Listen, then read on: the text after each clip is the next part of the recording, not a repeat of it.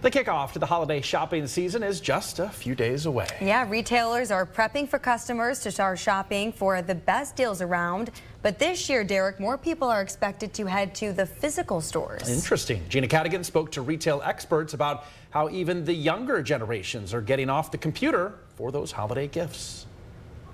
This holiday season, retail experts are predicting people will skip the online shopping and come back to the local malls. From small businesses to big box stores, shoppers are coming in person to avoid any hassle when getting gifts. You know that they've got it. It's right there. You don't have to worry about shipping delays. They'd like to look and feel and try on and check the color and all that good stuff. Hundreds are expected to flood the Eastwood Mall during the early hours of Black Friday shopping for the best deals on the hottest trends of the season.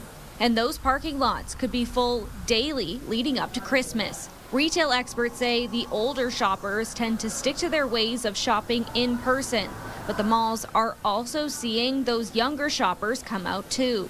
They're kind of bucking the trend of the online shopping because they want an experience when they're out there shopping.